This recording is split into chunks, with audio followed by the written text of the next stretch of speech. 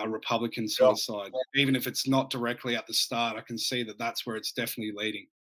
Yeah, that's where it's leading. I mean, they could they could they could pull they could pull something. Well, first of all, for for for a little clarity, uh, I just want to say that Dale, you're talking to somebody who does not believe elections even happen anymore. I I, I left that a couple years ago.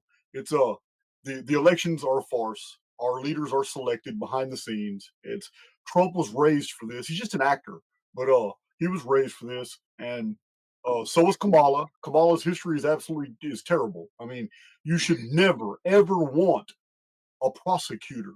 You got to understand what a, what a prosecutor really is. You don't want a prosecutor as a president, and this is how she made her name in prosecution. So I have, hey, listen, I have, I know so much about the criminal justice system, man. I don't even want to get into it, but but attorneys attorneys come up in the world a lot of them coming out of college by going into going going into prosecution. Prosecution is just it's, it's so easy. The deck is stacked against anybody who's been accused of anything. You know, revised civil statutes, criminal procedure, all these things are are against the accused, and prosecutors have basically a, a pretty much an automatic win against about 99% of the people they prosecute accused accused of crimes. And it's uh this is a terrible person to put in the Oval Office. It's somebody who has sent many, many people to prison uh, and there's no way that that her track record is 100%.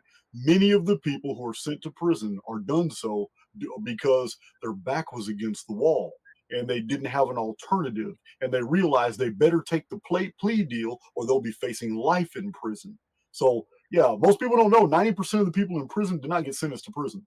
They took a plea deal because the alternative was life in prison or like personal friends of mine they accepted probation for some light bullshit. But probation is also a trap because if you fail probation, you go to prison.